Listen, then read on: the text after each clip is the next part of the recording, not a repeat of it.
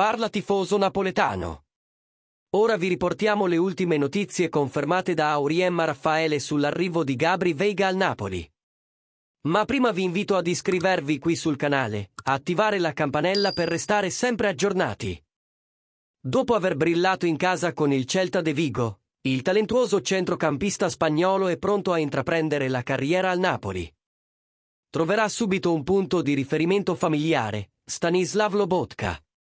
Ex idolo dei tifosi del Celta e dei giovani delle giovanili del club galiziano.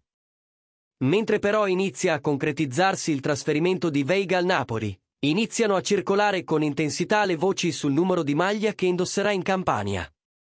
Secondo Auriemma, il giocatore Lorenzo Russo, convocato per la sfida tra Frosinone e Napoli, avrebbe voluto giocare con il numero 8, ma la sua richiesta è stata respinta, in quanto quel numero era riservato dallo stesso spagnolo Veiga. Allora fan, cosa avete da dire sulle speculazioni sul numero di maglia di Gabri Veiga? Commenta qui sotto e assicurati di sostenerci lasciando il tuo mi piace. Forza Napoli sempre!